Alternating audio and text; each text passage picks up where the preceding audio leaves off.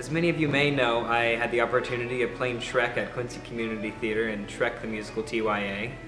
Shrek speaks with a Scottish inflection, and so I had to learn how to develop that voice for the character, and I had to speak in that voice almost every show and every rehearsal. Um, so you can imagine how hard it was not to speak in it outside of rehearsal.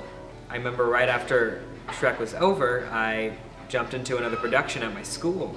Um, and I was reading lines, and my teacher had to stop me in the middle of it and was like, Camden, you're still speaking with a Scottish inflection. And I was like, oh, I am.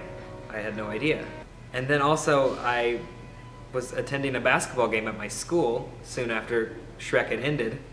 And I remember cheering on my teammates as they were playing basketball. And I, I yelled something in acclamation and I said it with a Scottish accent. And I was just like, oh, I guess I better stop that.